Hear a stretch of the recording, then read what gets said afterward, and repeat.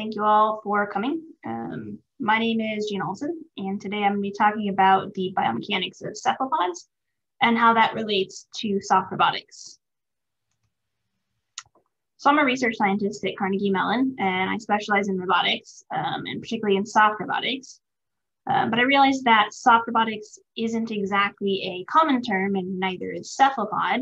So I want to start just by introducing these terms.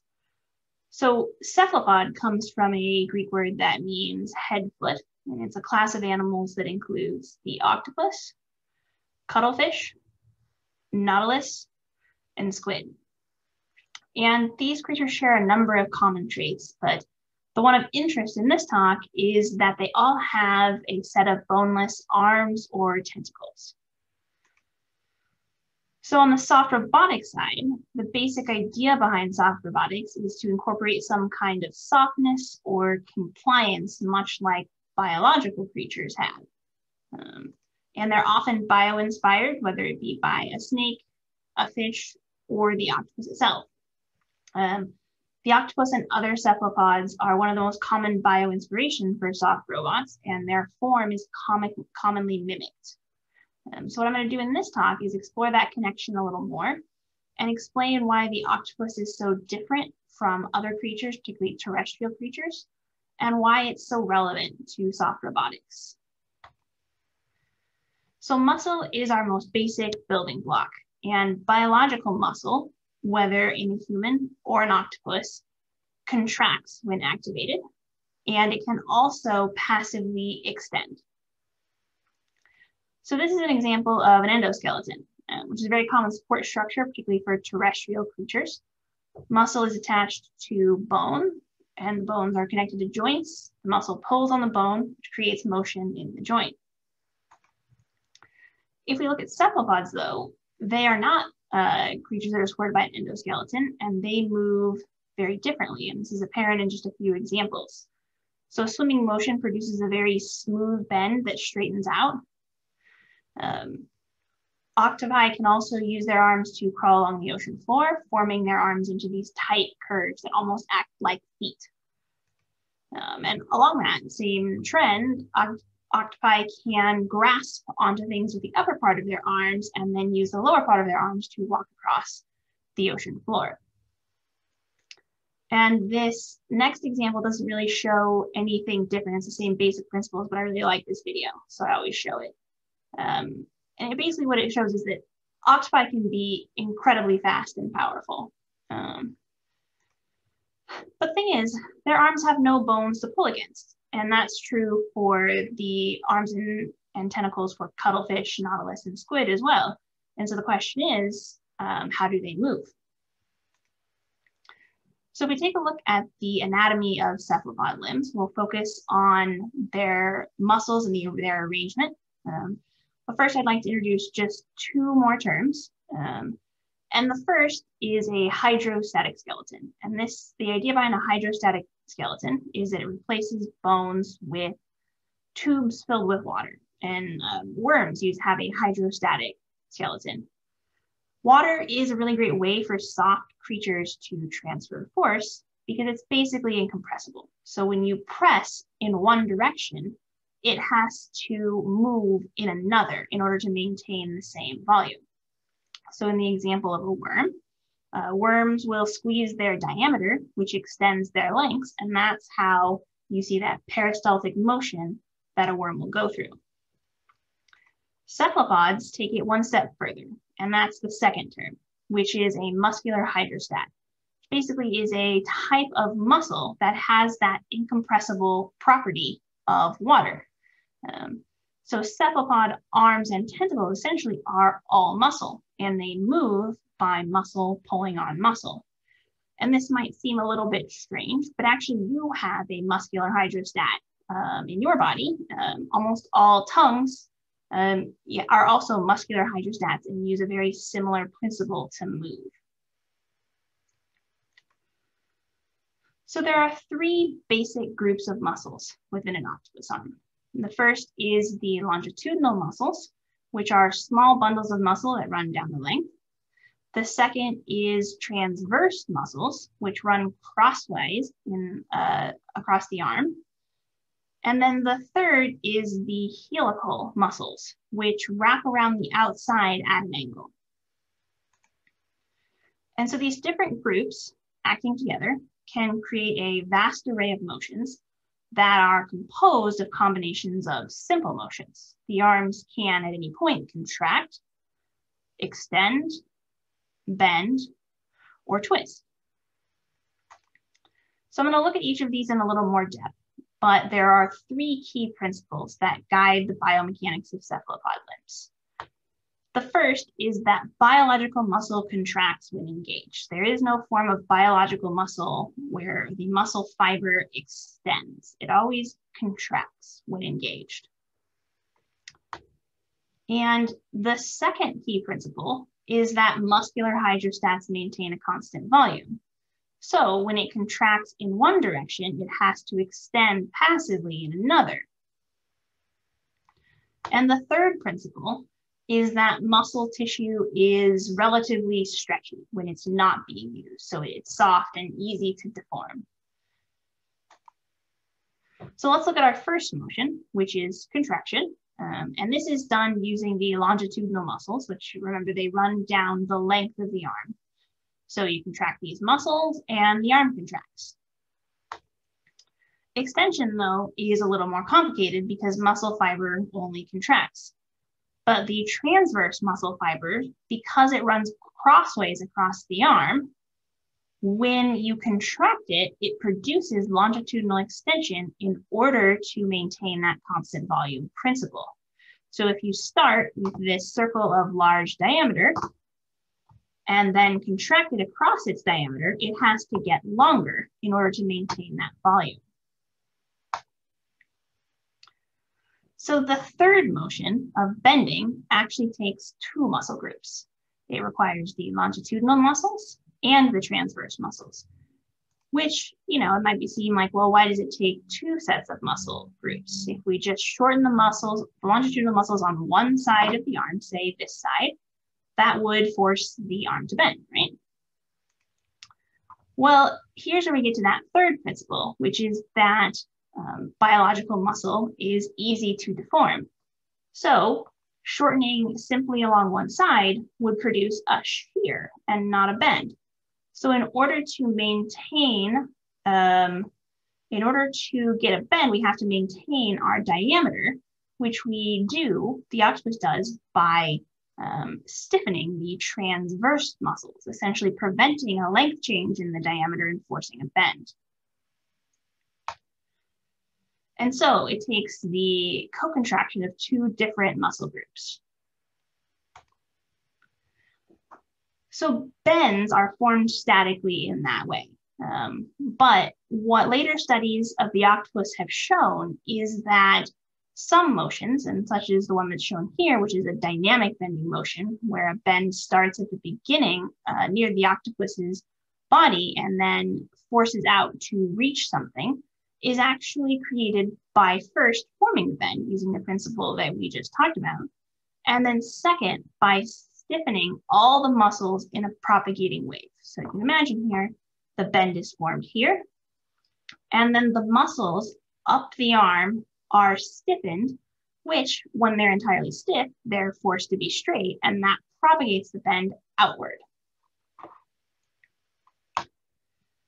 So the last core um, motion is twisting, which is accomplished by the helical muscles. So engaging one set of helices produces twist in that direction. But the key thing to note here is as we shorten one helix, the helices on the in the opposing direction have to lengthen, which biological muscle is quite good at, um, but will be important when we talk about soft robotics. So twisting is needed both to orient the suckers and to stiffen the arm, such as in the dynamic bending motion that we discussed a few slides ago. So in conclusion here, we have cephalopods, and they move by muscle pulling on muscle. And that lets them do a number of crazy motions because their arms have no, um, no bones. They can pattern them in different ways and create these versatile motions, such as walking along the ocean floor. And again, because they're soft, they can fit themselves into extremely tight spaces.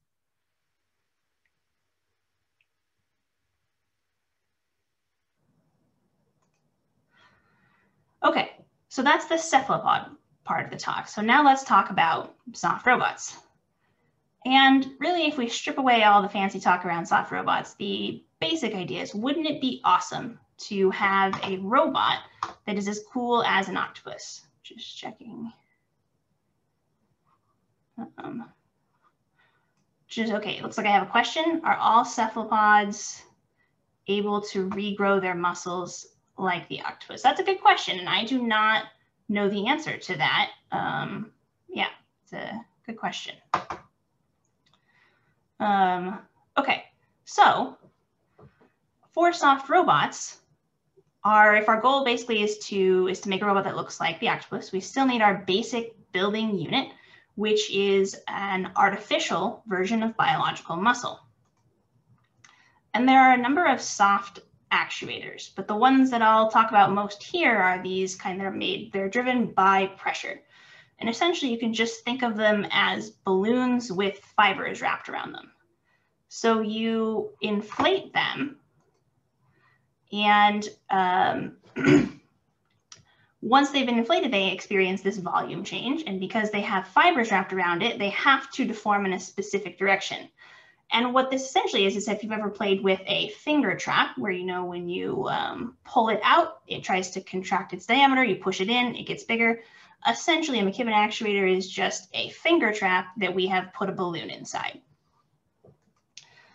And so like biological muscle, it has some extension, but it's not nearly as much as biological muscle, but it is quite soft in its passive contraction.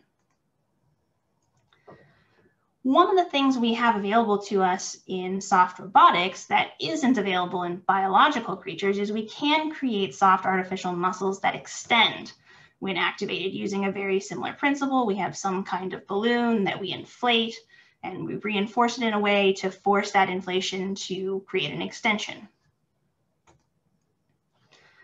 And so a number of octopus-inspired robots have been developed. This is a small set of ones. Um, and they move something like this.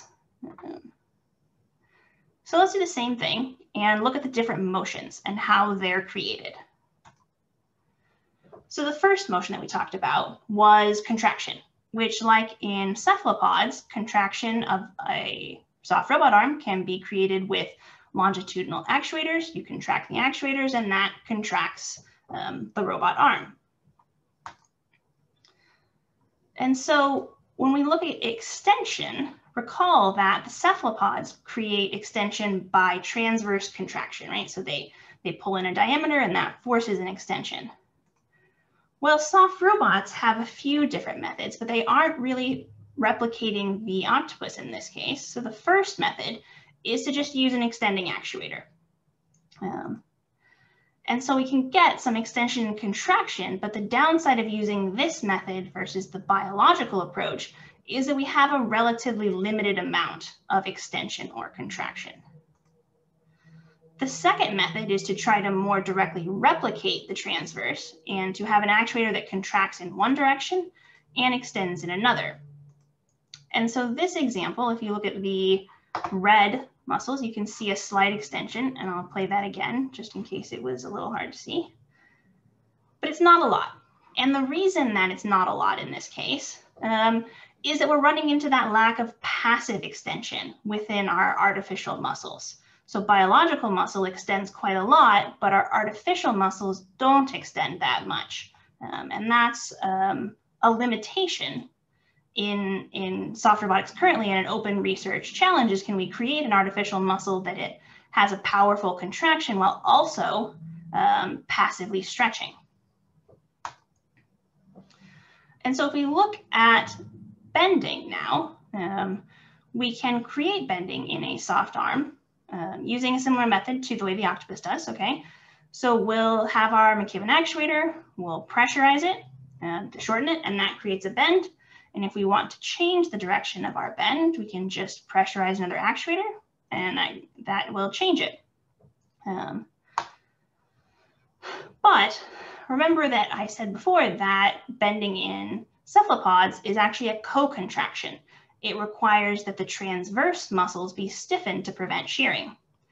And in the case of soft robots, we're not really to that point yet where we have both really capable transverse uh, actuators and longitudinal. So currently soft robots primarily use rigid plates and ties to mimic the function of a stiffened transverse muscle. And so again, just returning to some examples of what this motion looks like. This essentially is a soft arm that is gripping a basketball and lifting it.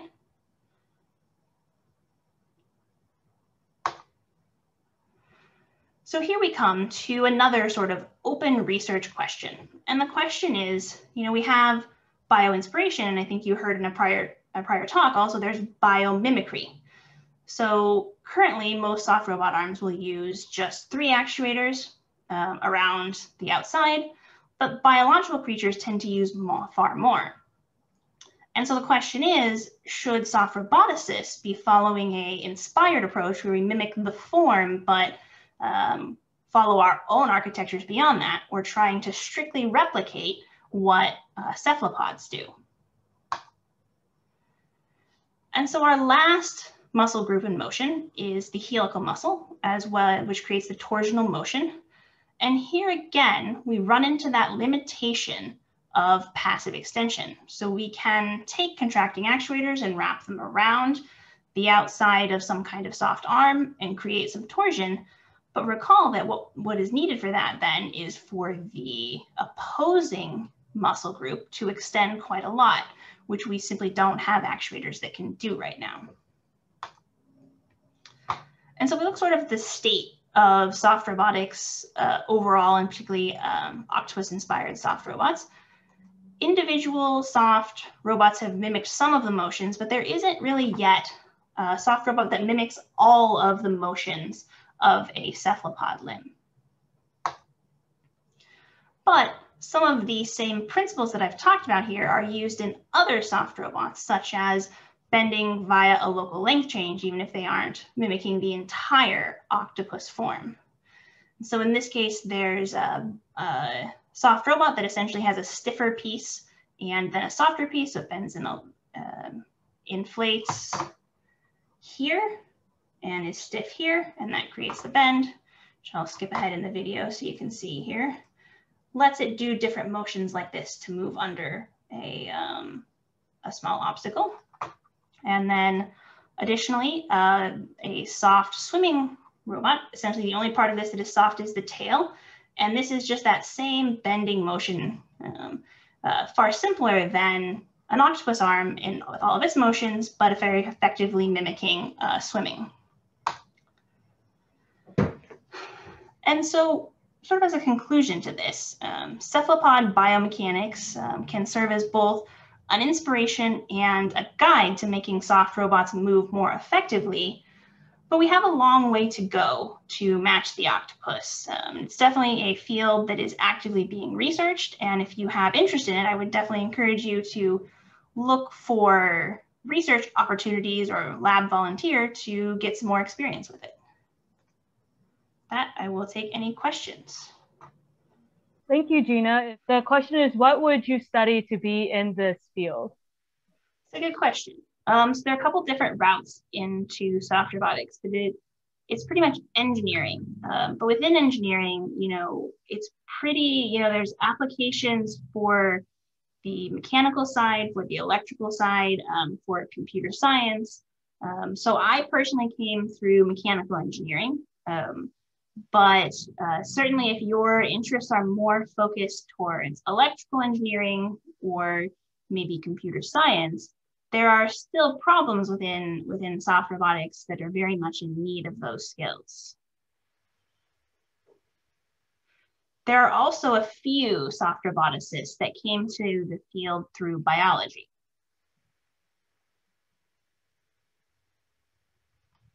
Right. Does anyone have any more questions? Uh, you're feel free to unmute if you do. That's not exactly a, question, elephant trunks, but yes, you're quite right. Elephant trunks use a very similar form of um, very, very similar muscle structure um, and are guided by very similar mechanics. Okay, I think there are no more questions. Thank you so much, Gina, for that lovely presentation. Uh, I've definitely learned a lot. So that is basically the conclusion of our National Biomechanics Day event. This is the first time we've held it at Carnegie Mellon, so we were we're really excited that so many of you decided to join us today. So this was this was a great event.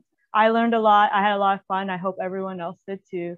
But um, thank you everyone for attending.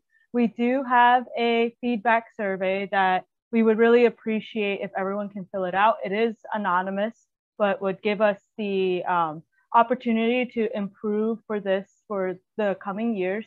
This is planned to be an annual type of event. So be sure to be on the lookout in January or um, March of next year to hear back for next year's Biomechanics Day. I believe the link to the feedback survey has been posted in the chat.